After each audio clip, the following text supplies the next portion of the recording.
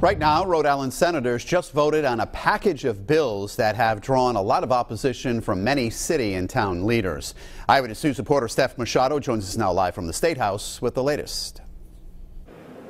Mike, this was a major victory for labor unions. Just a few minutes ago, the Rhode Island Senate wrapped up passing a package of labor bills that, again, were backed by those unions. The package included the very controversial continuing contracts bill for police, fire, and teachers and municipal employees. The three bills would mandate that expired contracts stay in place while new contracts are being negotiated. But many cities and towns are vehemently opposed because they say it could hurt taxpayers, for example, during an economic downturn if they have to continue paying wages wages and benefits from a contract that should have expired. The bills do make exceptions for layoffs, allowing cities and towns to do layoffs even when the contracts are expired, or extended, I should say. Here are views from both sides of the Senate floor debate, starting with the senator who is a former municipal employee herself.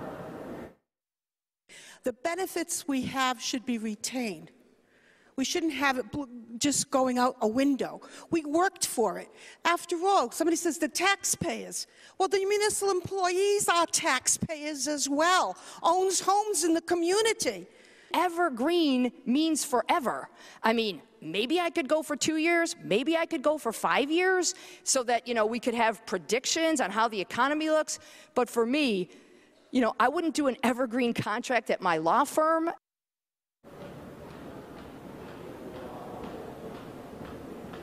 And the Senate also passed two bills that would uh, create mandated firefighter overtime after 42 hours of work. There's actually only three communities in Rhode Island that don't already do this. But again, those two bills were vehemently opposed by the League of Cities and Towns. They wanted these to stay as local decisions uh, made by city and town leaders so that uh, taxpayers were not adversely affected. But the unions, the firefighter unions, say it's only fair for them to get overtime over 42 hours. So again, those bills passed. They had already passed the House. These all go to Governor Gina Raimondo's desk. Now, she previously vetoed continuing contracts back in 2017, but her press secretary tells me she is now leaning towards signing the bills. We will see how that shakes out. Again, a big victory for labor unions here at the State House today.